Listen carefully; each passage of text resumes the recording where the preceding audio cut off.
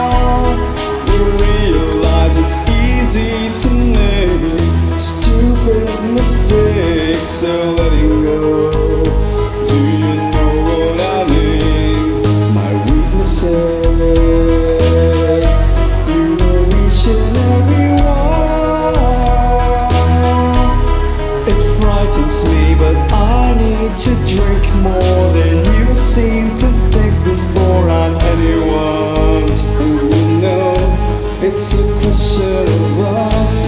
It's a question of